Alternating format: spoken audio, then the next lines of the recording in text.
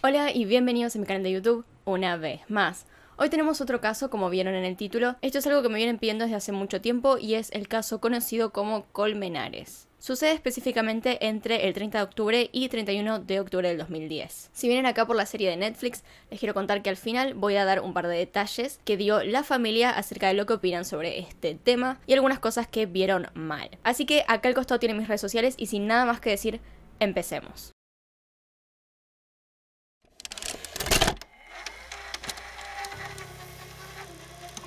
Luis Andrés Colmenares es de quien se trata este caso, la persona que ven ahora mismo en pantalla.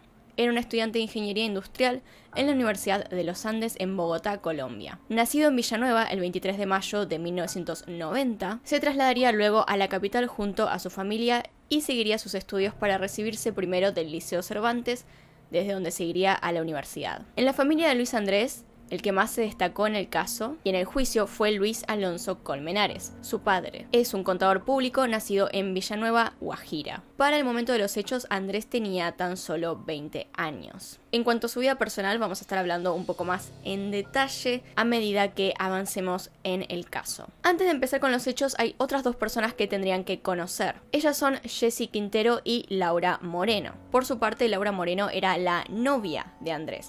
Habían estado juntos menos de un mes, ni siquiera un mes, digamos eran como tres semanas, y se habían conocido también hace muy poco. El padre de Laura es Jorge Enrique Moreno, y es el que más expresó durante la investigación y el caso en general. Es un socio de la exitosa compañía Montajes JM, que presta servicios de acoplamientos electromecánicos y obras civiles a más de 10 multinacionales del petróleo. Con esto quiero decir que no es un petrolero como muchas personas le dijeron, sino que se asocia a la industria del petróleo. De todas maneras, esto da igual, ya que lo que queremos decir es que tenía mucha plata, tenía mucho dinero y por ende tenía mucho poder. Cosa que se refleja después en el juicio y por lo que muchas personas hicieron hipótesis que más tarde vamos a ir viendo, pero para que se den una idea. Otro detalle sobre ella es que la madre de Colmenares indica que pasaba a buscar a su hijo todas las mañanas para ir a la universidad junto a sus guardaespaldas. Por otro lado tenemos a Jessie Quinteros, quien definitivamente forma parte de todo esto que pasó en cierta medida. Es amiga de estas dos personas y no creo que haya nada más que tengan que saber al respecto sobre ella. Más allá de eso, incluso intenté buscar más información sobre esta persona y de todos modos no la hay porque el caso se centra más que nada en Laura Moreno y Colmenares. Aún así, esto es todo lo que tienen que saber acerca de los principales. Pasemos a los hechos. Todo esto empieza el 30 de octubre del 2010, cuando Luis Andrés Colmenares decide ir a festejar Halloween con sus amigos. Iban a ir a la zona rosa de Bogotá, más específicamente la discoteca Penthouse ubicada en la calle 84. A Luis lo pasa a buscar la noche del 30 de octubre Laura Moreno, con quien habían empezado a salir. Ella recién había terminado una relación seria con Carlos Cárdenas de la misma universidad que ellos. La noche la pasarían con amigos cercanos de Luis, incluida Jessie Quintero. Nada raro se supone que pasó durante las horas que estuvieron dentro del boliche. Todo lo malo empieza cuando Luis se quiere ir del lugar. Desde este punto tenemos solo los testimonios de Laura y de Jessie, ya que son las únicas dos que se van con él. El resto del grupo tiene testimonios aparte, ya que no estaban en la escena sino dentro del boliche. Según ellas, Luis sale de la discoteca para hacer una llamada la cual ocurre en inglés, lo que según las dos chicas parece haberlo alterado. Luego de esto decide expresamente que quiere ir a comerse un pancho o hot dog como le dicen ellos. Esa noche había varios puestos en toda la cuadra, entonces no había una gran necesidad de irse lejos del lugar. Sin embargo, Luis estaba un poco alterado y pasaba de largo. Es en este momento que las chicas lo ven muy mal y le empiezan a preguntar por qué anda solo, qué, le pasa y le dicen que lo van a acompañar. Laura declara que en este instante él le dice algo a Jessie que no logra comprender de qué se trata. Le pregunta, ¿te acuerdas qué pasó hace dos años? A lo que Jessie no responde nada. Y Luis contesta al silencio, por eso, porque no te importa. Y él le dice, ¿tú te acuerdas lo que pasó hace dos años? Y ella le dice, con hace cara de confundida y, y ya, no le dice nada. Y entonces Luis Andrés le dice, por eso, como no te importa o... Laura dice que no entiende qué pasó ahí porque era la pelea, ya que ella no los conocía hace tantos años, sino que ellos dos eran amigos hace más de dos años, entonces nunca entendió qué pasó ahí. Pero esto expresaría que en realidad él estaba muy enojado o molesto por algo. También iba un poco borracho, según las declaraciones. Después de caminar un poco, llegan al puesto que Luis quería. Se piden un pancho y mientras él se lo está comiendo, lo tira al suelo y se pone a correr en dirección al parque cercano El Virrey. En el medio de todo esto que Luis se echa a correr, Laura termina con su celular en la mano. Dice que no sabe cómo pasó esto, dice que no sabe si él se lo dio inmediatamente después de la llamada en inglés o si lo agarró de alguna parte, pero que definitivamente terminó con el celular sin saber qué había pasado. Laura entonces empieza a correr detrás de Luis Andrés para intentar ver qué le pasaba. En el medio dice que algunas veces logró alcanzarlo, pero que él definitivamente siguió corriendo. Mientras tanto, Jessie se queda atrás porque según ella tenía tacones. Igual que otras fuentes dicen que se había quedado haciendo una llamada. De todos modos, termina siendo un vínculo de comunicación entre lo que estaba pasando con Luis Andrés y el grupo de amigos que se había quedado en la discoteca. Laura en este momento entonces empieza a llamar a su grupo de amigos. Cabe destacar que el GPS en su teléfono nos muestra que sus movimientos coinciden con la historia respectivo del lugar donde ella dice estar. Este es solo un detalle para que ustedes vayan sacando sus conclusiones con respecto al caso. Entonces dice que entra a un parque siguiendo a Luis, que está a 500 metros de Penthouse, y que apenas se dio cuenta de que entró ahí porque sintió el pasto y vio los árboles, pero que definitivamente estaba demasiado oscuro para ver algo. Entonces, lo último que ve de Colmenares es su silueta en el aire a punto de caer en el caño del parque. Este caño en realidad es como un canal de agua, como pueden ver en este momento.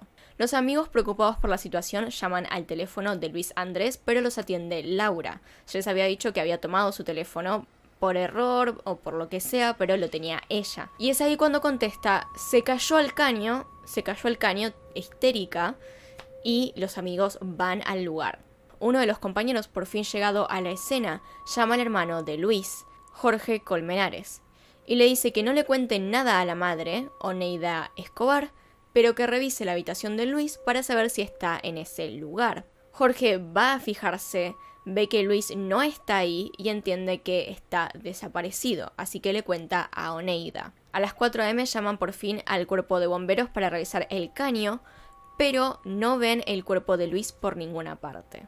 Según dice Laura, ella se había metido para ver si estaba Luis, pero el agua le llegaba hasta las rodillas y no vio el cuerpo por ninguna parte, así que asumió que la corriente se lo había llevado. Y una de las primeras cosas llamativas del caso es lo que pasa al día siguiente, cuando encuentran el cuerpo de Luis a 125 metros de donde había supuestamente caído. Lo encuentran a eso de las 9 de la noche, es decir, 16 horas después de la llamada, en un lugar que ya habían revisado. Recordemos que aunque era de noche, igualmente estaba el cuerpo de bomberos buscándolo y sus amigos con linternas, es decir, deberían haberlo encontrado, más que nada porque buscaron en ese mismo lugar. Pero apareció el día siguiente.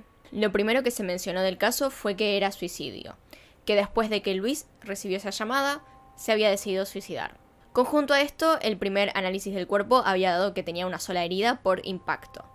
Obviamente esto coincidía, sin embargo la familia realmente no lo creyó. Después de mucho tiempo de que la familia insistía en que no había sido un suicidio y un sueño revelador de la madre en el que su hijo le decía que las claves del crimen estaban en su cuerpo, la familia llamó a su propio forense para que hiciera una autopsia más detallada, en la cual se descubrieron algunas cosas que no coincidían con la historia principal. Entre ellas se descubrió que el cuerpo en realidad tenía siete heridas en lugar de una, en el cráneo y en la pera, lo cual desde cualquier punto de vista no tiene sentido por la manera en la que supuestamente se cayó. No podían ser causadas por una caída, sino por un objeto punzante. Aunque todavía hay algunos detalles con respecto a esto.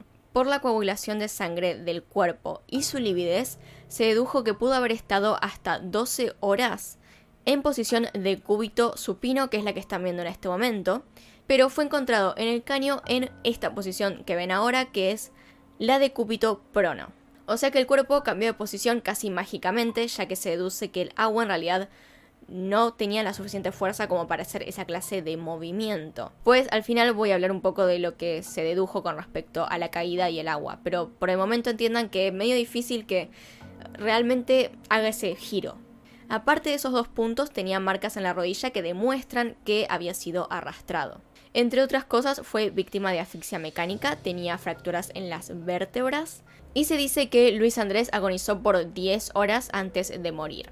Como pueden ver, nada de esto tiene mucho sentido, desde la llamada que lo puso de mal humor y entonces decidió suicidarse, hasta romperse el cráneo y desaparecer por horas. ¿Cómo podría ser todo esto explicado de una forma completa y viable?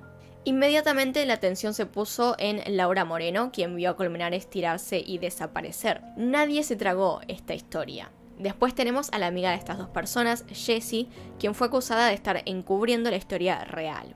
Una de las pruebas para decir que había encubrimiento detrás se basa en que este parque, el Virrey, tenía muchas cámaras. Estamos hablando de varias zonas distintas del parque que debieron ser grabadas esa noche, pero que de la nada las filmaciones desaparecieron. O sea, fueron borradas. Esto grita evidentemente encubrimiento y no encontré una razón por la cual pudieron haber sido borradas por error en alguna parte.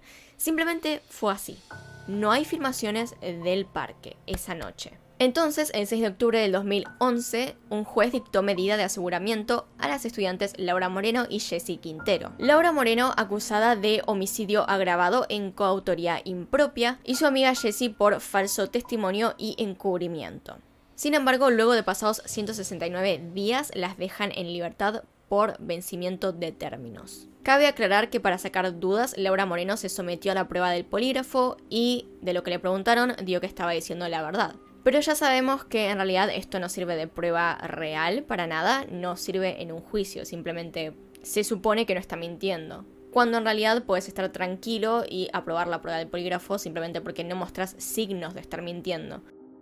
El rumbo de este caso cambia un poco el 6 de junio del 2012, cuando el estudiante de la Universidad de los Andes, Carlos Cárdenas, fue capturado por la CIGIN investigado por el delito de homicidio doloso y agravado. El entonces fiscal Luis González logró que un juez dictara medida de aseguramiento contra este joven y lo envió a la cárcel de la modelo.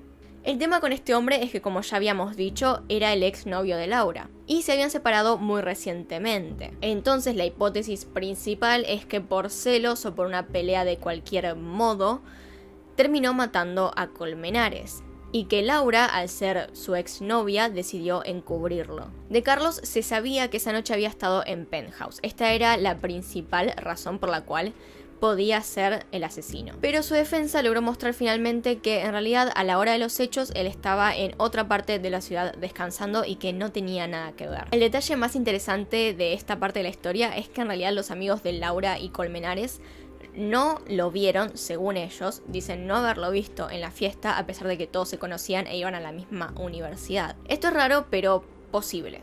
En medio de toda esta cosa con Carlos Cárdenas, aparecieron tres testigos que parecían ser claves. Ellos eran Jesús Alberto Martínez, José Wilmer Ayola y Jonathan Martínez. El más sonado de los tres fue Jesús Alberto Martínez, quien en octubre de 2012 contó con lujo de detalles como Carlos Cárdenas con algunos amigos, golpeó en la cabeza a Luis Colmenares para luego llevárselo en una camioneta. Entonces él relata.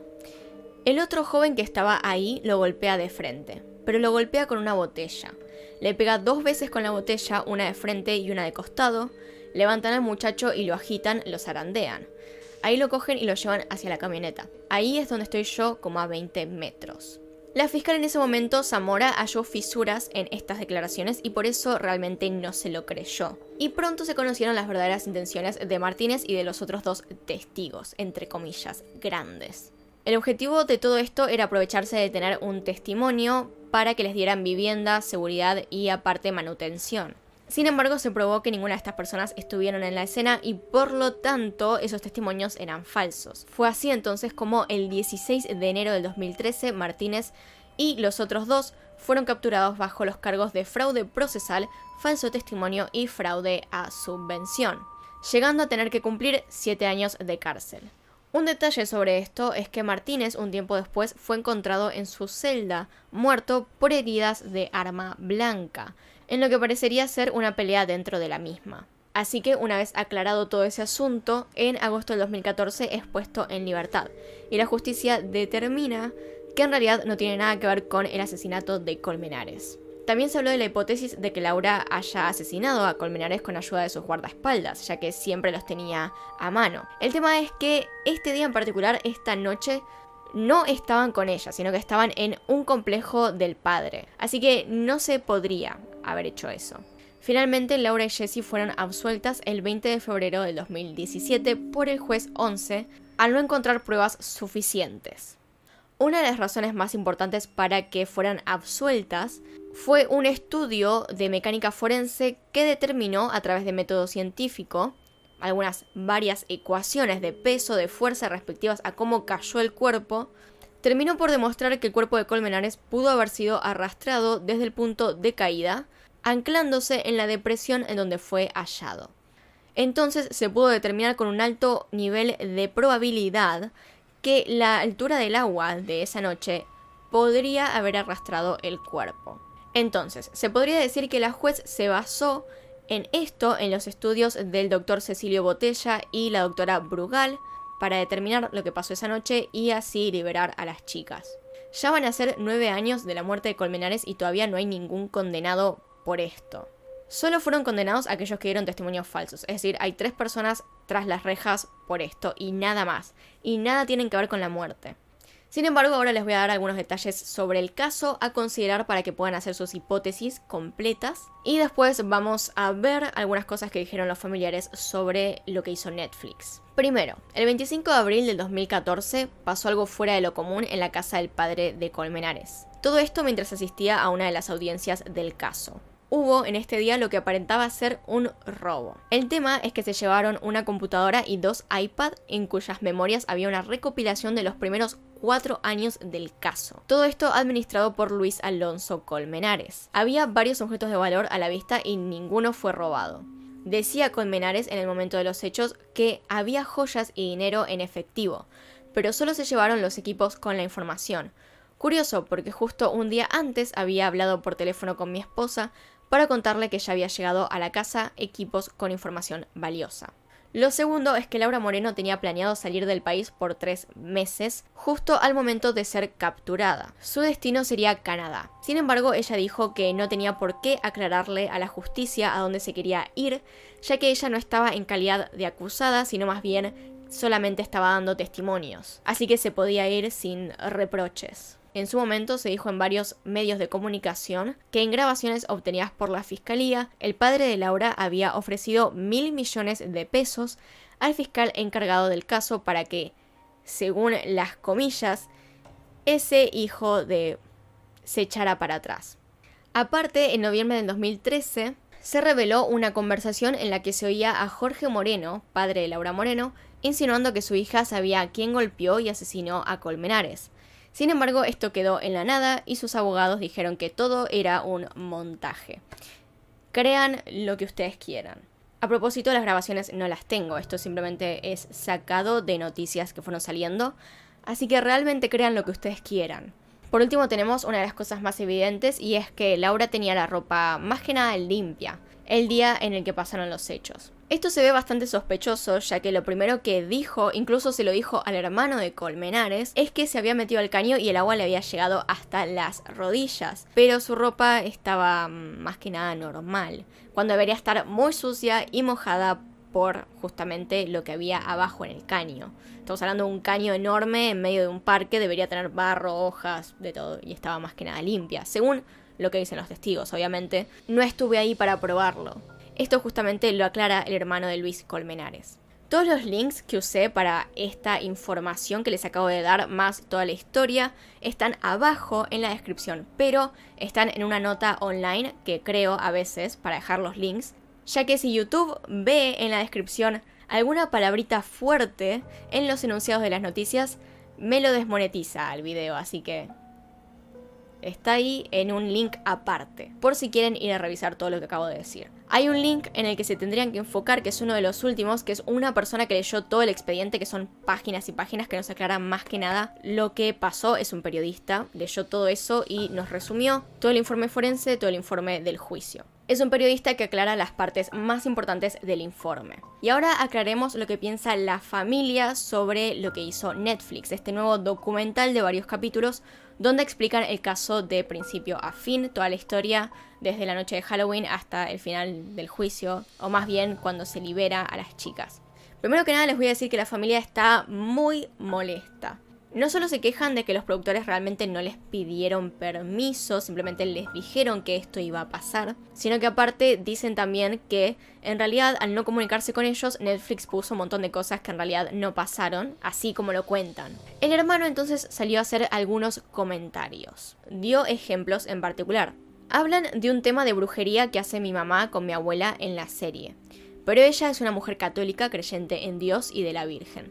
Todo esto lo basan en un sueño real en que mi hermano le dice a mi mamá que la prueba de su muerte estaba en su cuerpo. Pero esto nunca se lo comentó al investigador. Y una de las cosas que más molestó a la familia es cómo hicieron que se comportara Luis Andrés en el documental, la serie en realidad que hicieron. Dice, muestran un machismo de mi hermano hacia las mujeres, las tratan mal. Él era un caballero, nunca se refirió mal hacia una mujer y añade lo siguiente. Se ve ahí a mi hermano que se siente afligido por su color de piel. Al contrario, él se sentía orgulloso de que sus amigos le dijeran negro. Fue tan así que su campaña para personero del colegio era no vote en blanco, vote por el negro. También declara que Netflix al parecer dio un número erróneo de heridas en total en el cuerpo de su hermano, lo que le lleva a pensar que están más del lado de la defensa. Entre todas estas cosas, dice que en noviembre nos enteramos que Netflix está en la producción de esta serie. Desde ahí empezamos a comunicar que rechazamos su realización, ya que para nosotros no nos parece justo lucrarse de la muerte de un ser querido. Y añadió, nunca se nos acercó la plataforma de Netflix para hablarnos del tema. Nunca se acercó la productora Dynamo, encargada de la realización de la serie. ¿Cómo iban a hablar de nuestra familia si ni siquiera nos conocen y no tienen nuestra autorización? Dicen aparte que habrán acciones legales contra Netflix y que definitivamente no están contentos con lo que hicieron. Así que bueno, ese es todo el caso por hoy. Realmente no tengo más información. Puede ser que algunas cosas no estén del todo claras. La verdad es que es complicado buscar cosas sobre este caso, detalles. A la hora de ponerme a hacer el guion no sabía por dónde empezar. Estaba el testimonio de Laura Moreno, está todavía en YouTube si lo quieren ver, están entrevistas diferentes. También, digamos, no ponerme de ningún lado, porque realmente yo no sé si ellas tuvieron algo que ver con todo esto, es un poco difícil. Primero que nada es muy sospechoso toda la actitud de Laura, como llegó a ser el caso que de repente Colmenares salte a un caño en un parque, que las filmaciones desaparezcan. Sin embargo, también está el hecho de que el GPS muestra que su ubicación es la que dice en los testimonios, que no cambió eso. Entonces, conjunto a lo que decían sus amigos, aquellos testigos que llegaron más tarde. Es todo un conjunto de cosas que realmente no tienen explicación. Espero que les haya gustado, de vuelta no me quiero poner de ningún lado, pero hay que decir las cosas como son, muchas cosas sospechosas con respecto a lo que hizo Laura, cosas sospechosas con respecto a todo el caso en general y por qué terminó el cuerpo de Colmenares de la forma en la que terminó, por qué se encontró al día siguiente en un lugar que ya habían buscado, por qué las afirmaciones no estaban, todo eso que dije antes. Y bueno, acá terminó el caso. Acá al costado tienen a mis Patreons, si quieren saber más al respecto, está abajo la página por si quieren ir a ver. Recomiéndame más casos, este me lo estuvieron pidiendo durante un montón de tiempo, un montón de semanas y dije, bueno, lo voy a hacer de una vez. Es muy interesante como ya vieron, pero no tiene resolución, así que lo siento. Acá tiene un video nuevo, acá tiene un video recomendado, se pueden suscribir haciendo clic en mi cara y nos vemos en otro video. Adiós.